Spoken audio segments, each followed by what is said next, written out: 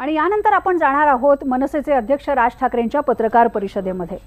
ते शिबिर आहे. नेमकं काय मार्गदर्शन आहे? राज ठाकरे नेमकं कुठल्या पुढच्या भूमिकेत असणार आहेत? कारण त्यांनी ज्या पद्धतीने निवडणूक लोकसभा न लढता रणधुमाळी उभी केली विधानसभेचं नेमकं टार्गेट काय? कशा पद्धतीने हे पुढचं विधानसभेच्या. राज ठाकरे यांनी विधान लोकसभा निवडणुकीच्या वेळेस सर्जिकल स्ट्राईक या एकूणच मुद्द्यावर महत्त्वाचा फोकस केला होता. तुम्ही मोदींवर त्या संदर्भात टीका देखील केली होती.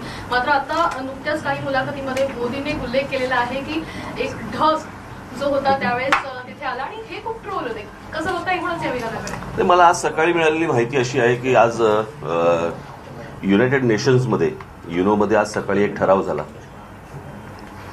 आणि त्या ठरावात असं ठरलं की ज्याला कोणाला युद्ध करायचं असेल त्यांनी पावसाळ्यात युद्ध करावीत.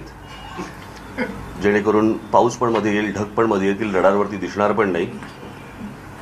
तुमचं काम पण होऊन जाईल आणि त्या देशाला कळणार पण नाही कोणी बॉम्ब टाकला. तर ही एक टेक्नॉलॉजी नवीन आता बाहेर येते आणि त्याचे म्हणजे त्याचं मूळ त्याचे जे सायंटिस्ट आहेत ते आपले पंतप्रधान आहेत आणि त्यांनी या गोष्टींचा नवीन एक शोध लावला आहे अशी त्यांची अनेक विधानं खरं तर व्हायरल होताना सध्या बघायला मिळत आहेत तर कुठेतरी परिस्थितीचं गांभीर्य परिस्थितीचं गांभीर्य नाही आपण कुठच्या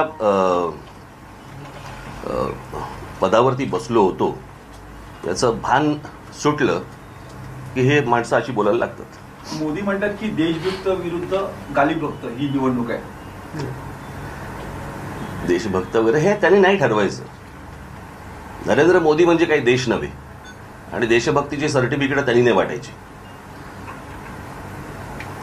नवाज शरीफला जाऊन ज्यावेळेला केक भरवायचा होता ना त्यावेळेला मग हे ठरवायचं होतं. देशभक्ती काय आणि देशद्रोही काय ते.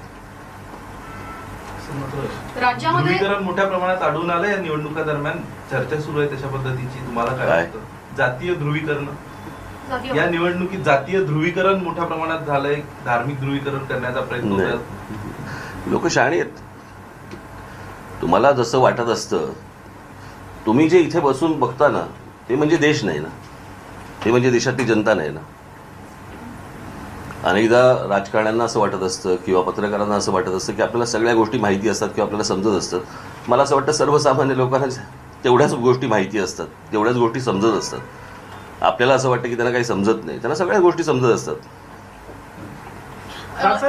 एक नया शब्द इस चुनाव में देखने को मिला हिंदू आतंकवाद. हिंदू दहशत नाही, मला असं वाटतं हा काही नवीन शब्द नाही हा जुना शब्द आहे. कमल यावरून हिंदू. दहशतवादी म्हटले त्यांनी काय म्हटलं ते सोडून. प्रश्न असा आहे ना दहशतवादी हा दहशतवादी असतो. टेररिस्ट हा टेररिस्ट असतो. त्याचा मुसलमान हिंदू बिंदू असा काही नसतो.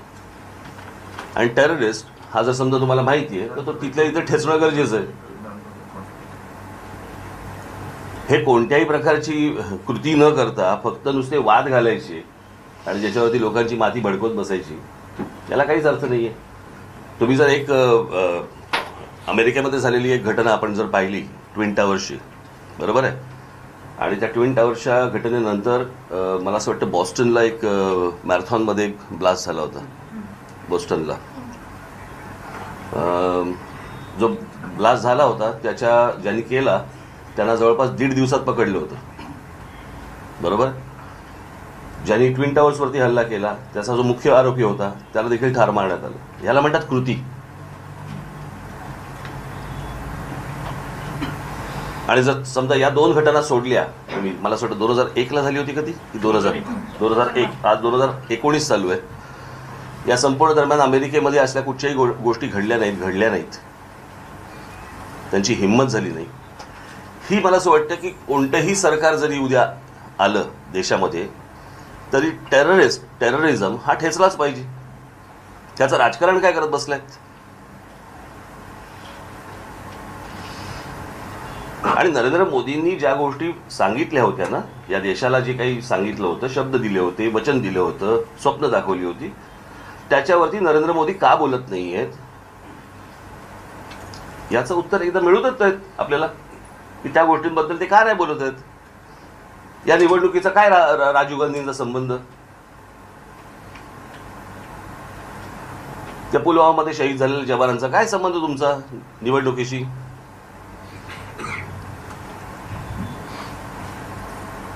नाही आता एअरफोर्सने काय करायचं हे पंतप्रधान बसून बघणार ते ठरवणार. आणि ते चिंतेमध्ये होते आणि चिंतेमध्ये असताना मी त्यांना म्हटलं की नाही नाही आता मला असं वाटतं ढग जरी असले तरी आत्ताच स्ट्राईक करा. कारण रडारवरती दिसणार नाही. काय चाललंय काय काय? थट्टा लावली? सर- सर, आपल्या देशाचं हसं होतंय बाहेर. या असल्या गोष्टीने तर एक वेगळा प्रश्न आहे. ठाण्यामध्ये आमदारावरून खूप संघर्ष निर्माण झाला. शेतकऱ्यांचा स्टॉल असलेला मुख्यमंत्र्यांना फोन करून स्टॉल हटवा अशी बोलली नाही आपण एक गोष्ट पाहणं गरजेचं आहे की महाराष्ट्रामधल्या शेतकऱ्यांना शहरामध्ये त्यांचे स्टॉल स्थापन करून त्यांना विक्री करण्याची परवानगी ही देण्यात आली आहे. बरोबर आहे? मग त्या आंब्याने काय घोडं मारलं होतं? आणि मग कसं आहे की त्या दिवशी पंतप्रधानांना एक प्रश्न विचारला गेला की आंबा त्या कॅनेडियन नागरिक अक्षय कुमार यांनी प्रश्न विचारला की आंबा कापून खायचा का चोपून खायचा? तर ठाण्यामध्ये आमच्या लोकांनी तो चोपून खाल्ला. ते शेतकरी आहेत ते त्यांचा काय त्यांची भाजीपाला असेल त्यांच्या इतर सगळ्या गोष्टी असतील त्यांना जर समजा तो भाव मिळत नसेल ते शहरामध्ये येत असतील आणि शहरामध्ये जर समजा त्यांचं त्यांना चार पैसे मिळत असतील तर करू देत ना त्यांना. ते काय कायमचा स्टॉल लावणार नाही आहेत ना. आणि हे भाजपवाले पण अनेक ठिकाणी करतातच ना या गोष्टी. याच्यात विरोध काय करायचा आहे भलं शेतकऱ्यांचं होतंय ना. ह्याच्यात पक्षीय राजकारण कसलं आणताय तुम्ही? सतरा तारखेला त्या संदर्भात मोर्चा आहे त्या मोर्चामध्ये सामील नाही. नाही मी ठाण्याचा मोर्चा अविनाश वगैरे आहेच सगळे. सर मराठवाड्याचा जो आहे सर वाळवंट वाळवंट जो. राज ठाकरे नरेंद्र मोदींच्या विरोधात लढत आहेत. तशा दोन महिलाही लढत आहेत. ममता बॅनर्जी आणि त्याचबरोबर मायावती. म्हणजे दिदी आणि त्याचबरोबर बहनजी असा हा सामना दिसतोय. काय वाटतंय सगळ्या सामन्याकडे जो काय वाटतं. राज ठाकरेंच्या बरोबर दोन महिलाही त्या पद्धतीचं आव्हान करताना दिसत आहेत. मला असं वाटतं की देशामधल्या सगळ्या खरं तर विचारवंतांनी उठायला पाहिजे त्यांनी बोललं पाहिजे साहित्यिकांनी बोललं पाहिजे. हे मी काय आज नाही बोलत आहे मी हे गेले दोन अडीच तीन वर्षापूर्वी ज्याला सांगलीला साहित्य संमेलन झालं होतं तेव्हा पण मी हे म्हटलं होतं. आणि दबून राहण्यात काय अर्थ आहे? जे चुकीचं तुम्हाला दिसतंय ते चुकीच्या गोष्टी दिसत आहेत त्याच्याबद्दल तुम्हाला बोललंच पाहिजे. सरकार कोणाचंही असू दे काँग्रेसचं असू दे तर अजून कोणाचंही असू दे ज्या चुकीच्या गोष्टी चालल्या त्याच्याबद्दल तुम्हाला बोललंच पाहिजे. उद्या माझं सरकार आलं माझ्या सरकारमध्ये चुकीच्या गोष्टी चालत असतील तर तुम्ही बोललंच पाहिजे त्याच्याबद्दल.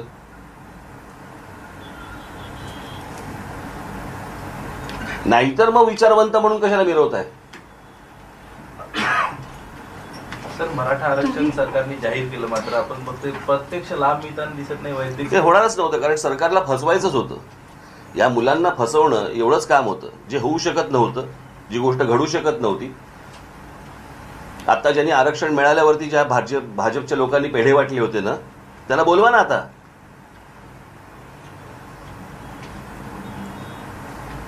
त्यात महाराष्ट्रातल्या तरुणांशी तरुणींशी देशातल्या पण त्या खेळ करत बसलात का तुम्ही राजकारणाचा?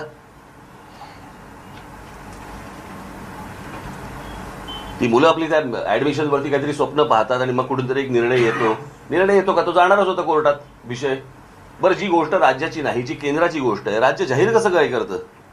हीच गोष्ट त्या ह्यानी केली होती ना मला असं वाटतं तामिळनाडूमध्ये पण. बरोबर ना? हो त्यांनी पण पण तरी पण ते कोर्टातच आहे प्रकरण अजूनही. सुप्रीम कोर्टातच आहे प्रकरण. ते मराठा विद्यार्थी तुम्हाला भेटण्याची इच्छा प्रकट करतायत. भेटेन ना मी.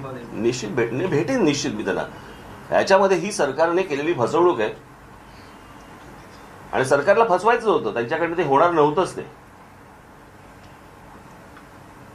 मला एक आजही आठवते मला ही हे जे आता मराठा समाजाचे जे मोर्चे निघाले आता आरक्षणाच्या संदर्भात याच्यापूर्वी एकदा दोन हजार अकरा किंवा बाराला एक मोर्चा निघाला होता. किंवा दहाला असेल. मला आठवत नाही मला. किंवा तेराला असेल. आणि त्यावेळेला त्या मोर्चाला सामोरे एकाच व्यासपीठावरती काँग्रेसचे लोक नेते होते राष्ट्रवादीचे होते शिवसेनेचे होते आणि भाजपाचे होते. बरोबर की नाही? हं? मला आता तारीख नाही आठवत किंवा मला साल नाही आठवत पण मला ही फोटो आठवतोय तो. आणि सगळ्यांनी मान्य केलं होतं की द्यायचं म्हणून. मग अडलं कुठे होतं? कारण तुम्ही देऊ शकत नाही. हा? नऊ ऑगस्ट. नऊ ऑगस्ट. हा म्हणजे बरोबर ना? तेव्हा हा सगळे जण होते. आणि मी हे माझ्या अनेकदा माझ्या मुलाखतीमधनं बोलून झालंय. मी अनेकदा माझ्या भाषणांमधनं बोलून झालेलं आहे की तुम्ही आरक्षणाच्या ज्या गोष्टी बोलतात आरक्षण कुठच्या गोष्टींसाठी हवं आहे? तुम्हाला शाळेच्या किंवा कॉलेजच्या ऍडमिशन्स किंवा नोकरी. जिकडे खाजगीच कॉलेजेस आणि खाजगी शाळांचं पेव इतकं मोठ्या प्रमाणावरती फुटलेलं आहे की ज्या ठिकाणी तुम्हाला आरक्षण नाही आहे आज जर या देशामधले जर समजा उद्योगधंदे बघितले तर तुम्ही साधारणपणे पंच्याऐंशी नव्वद टक्के त्याच्यापेक्षा जास्ती हे खाजगीच सगळे उद्योगधंदे आहेत. तिकडे आरक्षण नाही आहे मग तुम्ही कुठे नोकऱ्या देणार आहात? आणि माझी पहिल्यापासूनची मागणी हीच आहे की या राज्यामध्ये जेवढ्या नोकऱ्या निर्माण होत आहेत त्या खाजगी असतील नाहीतर सरकारी असतील. त्या सर्व नोकऱ्यांमध्ये किंवा शिक्षण संस्थांमध्ये देखील जर समजा तुम्ही महाराष्ट्रातली मुलं मुली जर समजा त्यांना जर पहिल्यांदा प्राधान्य दिलं त्या नोकऱ्यांमध्ये तर महाराष्ट्राला आरक्षणाची गरजच लागणार नाही. इतर ते माझं बोलून ऐकल्यानंतर बोललेत ते. माझ्या अगोदरची भाषणं तुम्ही लोक विसरता ना पत्रकार असल्यामुळे. तर तर माझं असं मत आहे की आज समजा तुम्ही महाराष्ट्राचं जर समजा आपण एक काय पोटेन्शियल पाहिलं आणि देशातली जी सगळी राज्य आहेत या राज्यांमध्ये असलेले उद्योगधंदे आणि महाराष्ट्रामध्ये असलेले उद्योगधंदे यांचं जर समजा तुम्ही तुलना करायची ठरवली तर महाराष्ट्र खूप पुढे आहे. अशा परिस्थितीमध्ये जर समजा आपल्या इकडे येणाऱ्या उद्योगधंद्यांमध्ये कुठचीही असू देत अगदी सिक्युरिटीचे जॉब असू देत असलेल्या आपल्या आपल्याकडच्या रिक्षा असतील टॅक्सी असतील काही असू देत याच्यामध्ये जर समजा महाराष्ट्रातल्या मुला मुलींना तुम्ही सांगितलं की पहिल्यांदा प्राधान्य त्यांना आपल्याकडे राज्याला आरक्षणाची आवश्यकताच नाही आहे पण जे अंगावरती येत आहे ते आम्ही कुठे आवरायला तयार नाही आहोत. आणि आहे ते आम्ही सांभाळायला तयार नाही आहोत. सध्या सगळे नेते जे आहेत ते दुष्काळ दौऱ्याला निघालेले बघायला मिळतात. काय करणार जाऊन?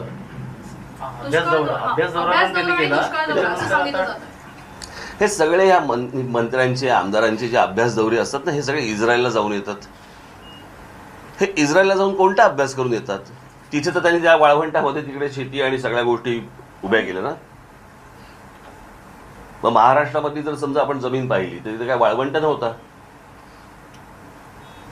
मग चांगल्या असलेल्या जमिनीचा आम्ही वाळवंट का करतो? आणि त्यात हे बघायला काय जाणार आहेत? माझा तुम्हाला सगळ्यांना माझी विनंती आहे पत्रकार सगळ्या बांधवांना भगिनींना. हे जे अभ्यास दौरे करून येतात ना एकदा ह्यांना जरा पकडा. आणि एकदा ह्यांना बसून विचारत काय अभ्यास केलात? आणि या अभ्यासाचं तुम्ही काय करणार आहात? महानगरपालिकेचे पैसे खर्च करता तुम्ही राज्य सरकारचे पैसे खर्च करता केंद्र सरकारचे पैसे खर्च करतात. आत्ताच काहीतरी ते अधिकारी कुठेतरी जाऊन आले त्याचा काहीतरी खर्च आला ना काही कोट्यांमध्ये. आय एस अधिकारी काही जाऊन आले.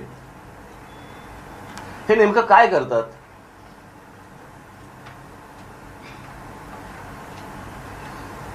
आणि आजच्या जमान्यामध्ये तुम्हाला कुठचीही माहिती ही तुमच्या एका बोटावरती आहे सगळी. सगळ्या गोष्टी मिळू शकतात. टँकर दुष्काळग्रस्तामध्ये तीन तीन दिवसांनी मिळतोय दिवसांनी मिळतोय. हे पहिले टँकरच्या लॉब्या कोणाच्या आहेत एकदा सगळं तपासून घ्या. आम्ही माहिती काढतीच काढतच आहोत. तुम्ही काढा. की या सगळ्या टँकर लॉबीज जेवढ्या आहेत त्यांचं पॉलिटिकल कनेक्शन काय आहे? आणि ह्याच्यामध्ये जर समजा राजकारणी राजकारणी हे जर त्याच्यामागे असतील बरोबर आहे? कोणी खासदार असतील कोणी आमदार असतील कोणी नगरसेवक असतील किंवा जे कोणी त्या पदांवरती नसतील पण इतर कोणी लोक पक्षाची असतील ही जर माणसं जर टँक- टँकर लॉबी चालवणार असतील तर तो त्यांचा धंदा झाला. आणि त्यांचा धंदा बसवण्यासाठी म्हणून किंवा बंद करण्यासाठी म्हणून ते पाणी येऊच देणार नाही तुमच्याकडे. तो चाललाच पाहिजे ना त्यांचा धंदा. ते चालवणारच ना. मग तुम्हाला जर सहज पाणी मिळालं तर त्यांच्या टँकर चालणार कसे? एका विचित्र आपण काहीतरी परिस्थितीमध्ये आपण अडकलेलो आहोत. आणि याची साफसफाई होणं खूप आवश्यक आहे.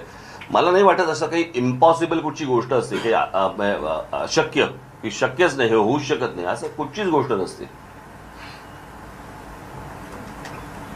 ज्या सरकार ज्या काही गोष्टी सांगू शकतो आता ज्या काही सामाजिक संस्था जे काही कामं करतात म्हणजे पाणी फाउंडेशन असेल किंवा अजून कोणी वगैरे वगैरे म्हणून मी तुम्हाला आठवत असेल ते मी बोललेलो त्या पाणी फाउंडेशनच्या कार्यक्रमामध्ये.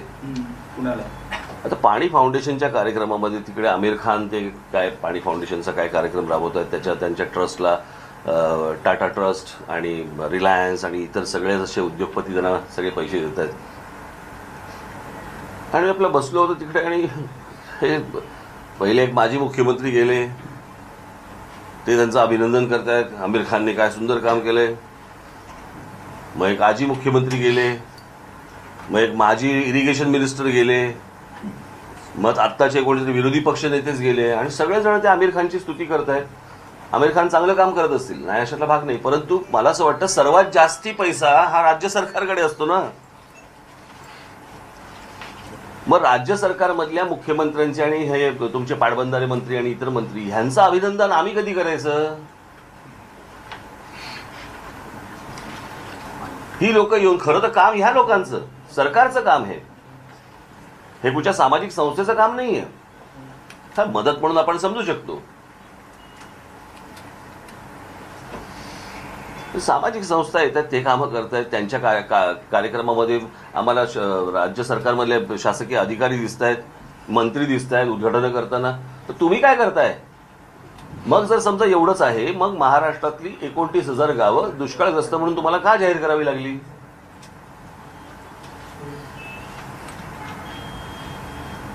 काही उत्तर आहेत का याची? मराठवाडा दुष्काळग्रस्त आहे वाळवंट होण्याची शक्यता आहे पाणी अडवा पाणी जिरवा अशा अनेक वेळा सरकारने घोषणा केल्या कोकणातलं पाणी समुद्राला मिळतं. अशा काही योजना उपाययोजना टेक्नॉलॉजी सगळ्या टेक्नॉलॉजी सगळ्या सगळ्या उपाययोजना जगामध्ये आहेत. कळलं का? आपल्याकडे असलेली परिस्थिती ही काही जगात कुठेच नाही अशाला भाग नाही. याहून खराब असलेल्या परिस्थितीमध्ये लोकांनी नंदनवन केलेलं आहे. मुळात हे करायचंय की नाही करायचंय? आणि मग असलेल्या पैशांमधनं फक्त पैसे खायचेत ते मी माझ्या जाहीर सभेमध्ये बोललो होतो ना आता विधान लोकसभेच्या वेळेला ती नमामी गंगे.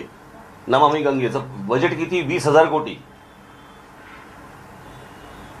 काय करायचं होतं? गंगा साफ करायची होती. बांधलं काय तुम्ही? तिकडे घाट.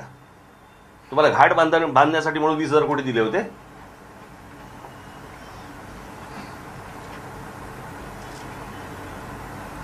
मूळ विषयांमध्ये हे जातच नाहीयेत हे सगळ्या वरवर बरोबरच्या सगळ्या गोष्टी करतायत. आणि काय तुम्हाला बातम्या पुरवतायत? अजून काही नाही. आणि तुम्ही खेळा. तुम्ही थोड्या वेळापूर्वी दहशतवादाबद्दल बोललात. साध्वी प्रज्ञा सिंग यांना भाजपने जे तिकीट दिले त्याच्यावर माझं बोलून झालं ना. त्याच्यानंतर त्यांनी ज्या काही कमेंट्स केल्या करकर यांविरुद्ध म्हणा किंवा तेव्हाच बोलून झालं मला असं वाटतं मी जाहीर सभांमधनं ही गोष्ट बोललेलो आहे की त्या काय बोलल्या त्या बोलल्या. परंतु त्याच्यानंतर पंतप्रधान त्यांचं समर्थन करतात. महाराष्ट्र राज्याचे मुख्यमंत्री त्याचं समर्थन करतात आणि वर तुम्ही त्यांना तिकीट देता.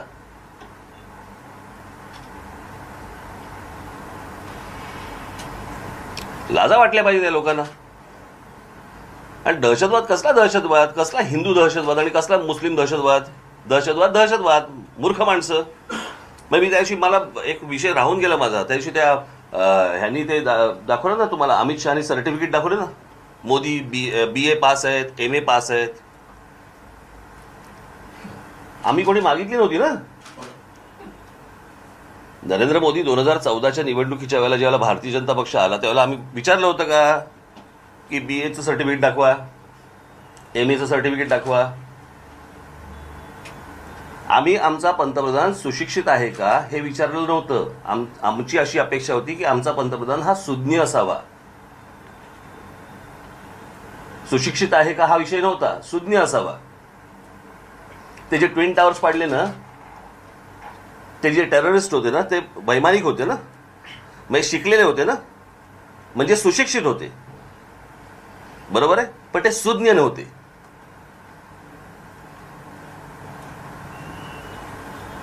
शिक्षण घेऊन नुसतं सर्टिफिकेट घेऊन काय करायचंय? आमचा पंतप्रधान जो देशाला पुढे नेणारा स्वप्न दाखवतो तो जर सुज्ञ नसेल तो उपयोग काय? सुशिक्षित आम्हाला काय करायची ती सर्टिफिकेट आमच्या बहिणाबाई चौधरी. बरोबर आहे? अशिक्षित होत्या पण सुज्ञ होत्या. आमचे राज्यकर्ते हे सुज्ञ असावेत ही आमची अपेक्षा आहे. सुशिक्षित असावेत आले तर आनंदच आहे. ठीक आहे. तुम्ही पण कसे काय आलात? ठाण्यामध्ये राज ठाकरेंनी पत्रकार परिषद घेतली आणि पंतप्रधान नरेंद्र मोदींवर त्यांनी टीका केलेली आहे. आमचा पंतप्रधान हा सुज्ञ असावा अशी आमची अपेक्षा आहे. दहशतवादाला हिंदू किंवा मुस्लिम असा धर्म नसतो. दहशतवादी हा दहशतवादीच असतो असं राज ठाकरेंनी सांगितलं. आज ठाण्यामध्येच राज ठाकरे मनसेच्या कार्यकर्त्यांचा मेळावा घेत आहेत यानंतर आपण एक ब्रेक घेऊया. ब्रेकनंतर पुन्हा भेटूया.